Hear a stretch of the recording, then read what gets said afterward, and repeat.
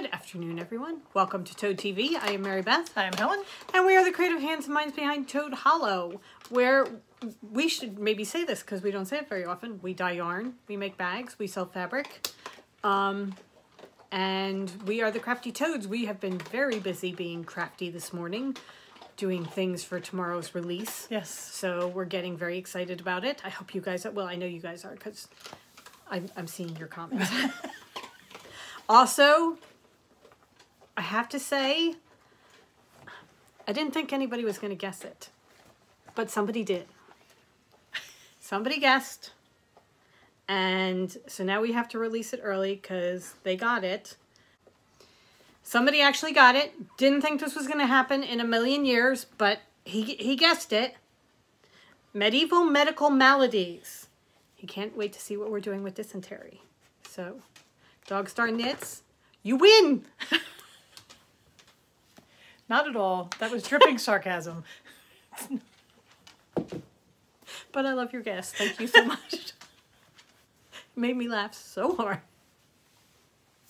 Anyway, um, so tomorrow, big reveal. We're very excited. And um, we've been putting together all bits and pieces Yeah. for it. So noon Eastern time, uh, Eastern Standard Time tomorrow, uh, live on YouTube. Yes. So if you guys um, subscribe to us and you have um, click the bell to get notifications, you will be notified when we go live. Um, otherwise, you're gonna kind of have to find it. Just go onto YouTube and our channel at uh, noon. So Okay. we will try and be on time. Yes. However, we don't hold up much hope. We've been getting better. Yes. Definitely been getting better. Okay. Um, so today we were supposed to talk about books, but I didn't finish my book and I'm almost done. So we're gonna hold off and do that next week. And we figured we haven't done a nailed it or failed it for quite a while, so we thought, well, do a nailed it, failed it for you. yeah, and you can see what we one of the things that we did today. Um, so we took this idea from Escape to the Chateau. Angela did it. She printed um, onto the slick side of um, the label ma- the label paper. So if you guys get stickers or that kind of thing and you peel the sticker off, that slick side that the sticker is stuck Yeah. to, that's what you print on. Wax paper will do the same thing. It's just anything that's got that kind of shiny surface that's uh, not going to absorb the ink. That the ink will just sit on top. Right. And then what you do is you transfer it to a well what she did was transferred it to a piece of wood and we thought, "Oh my god, that's so cool." And I have to say, with you know the magic of television, it made it look like she did it once and it worked perfectly.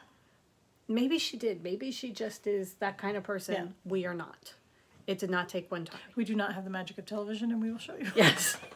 so what we did was we filmed ourselves doing this. Right. And this is what we decided to print and try and put onto wood.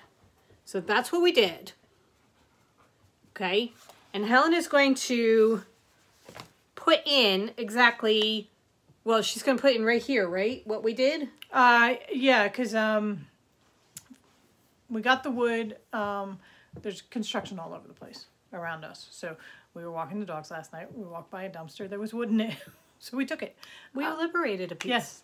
Um, so we say we'll, we're showing you- we'll show you. We sanded it down, got the sides all smooth, um, and then we transferred it on, and we will show you here.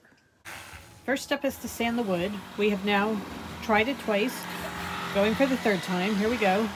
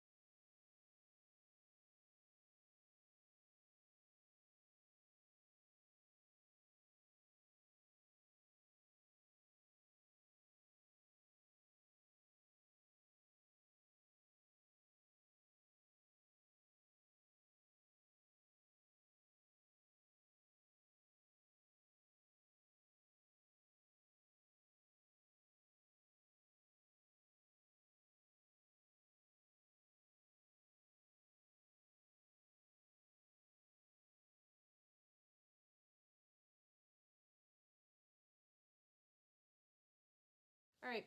Okay, so what you didn't see was the first time didn't work, and we took it off and sanded it down and started over again because you can do that. Yeah. And this is our final product.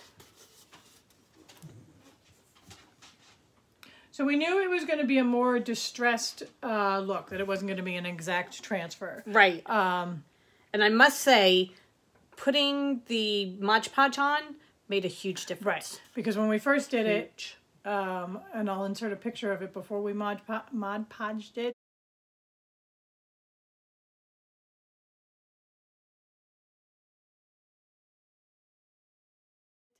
Um, the colors were not quite as bright, but once we put the Mod Podge on, then it, it really brightened up the colors, especially the green of the dragon. And you can see the outline of the polar bear so much better Yeah, because she kind of blended in yeah. To the background. So the Mod Podge, as I mean, it acts as a sealer on the ink, and then also just enhances everything. So This is really, really cool. yeah, it is. It's not you know, um, perfect, but it's really I mean, it's really kind of neat. yeah, especially after our first effort. Right. And our first effort, part of the problem was we were using a faded-ish coloring. Right. So um, if you're going to do it, Go str- bright. Strongly recommend brighter colors and more saturated colors because the more obviously the more ink you have, the better chance you have of getting it all transferred. Um, the idea is not once you put your, you have to make sure you uh, flip your image because it's going to go mirror image down. Um, and once you put it on the wood, don't move it. Even if it's in the wrong spot, you're going to smudge everything because that's live ink that you've got going. Right. So, the other thing that we figured out was um, we think this is kind of hardwood because they're using it for construction. So, it's probably not as porous as some of the other woods. So, that if you use a more porous wood, it may take the ink Right. better and s- sink it down a little bit so it might be a little bit brighter. So we're going to try it again on a different piece of wood and see what happens. But I love the way this looks. Yeah. I really do. And I think if you just have this, you know, just standing on a shelf somewhere or on Yeah. a mantle or something like that and it's just it's one of those things that you're walking by and you're like, "Wait a minute, what is that?" Yeah, right. Is that a You know? dragon having tea? Oh my god, that's so cool. So for right now, I'm just gonna put it right here behind Helen's head. There you go. Look at that. Big brain. Yeah. And uh, it just makes an interesting bit. It's like Yeah. it's one of those I don't know if you remember going to Auntie's apartment. Oh yeah. She had my great aunt. great aunt.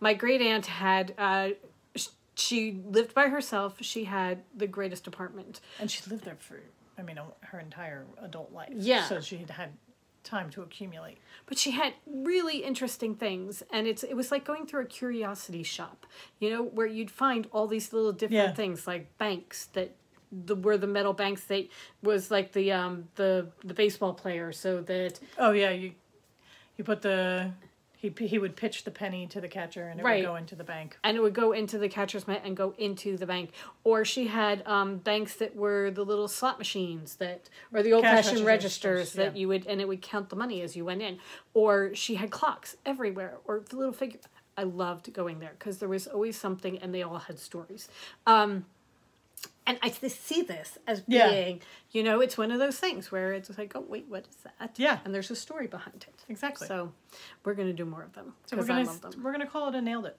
Yeah, definitely. I think that's a nailed it. Yeah. All right, let us know what you think. We um, hope you have a great rest of the day. Yes. Go forth and create. Make a wooden print, Yes. and we will see you tomorrow at noon. Yeah. Okay. All right, Bye. bye.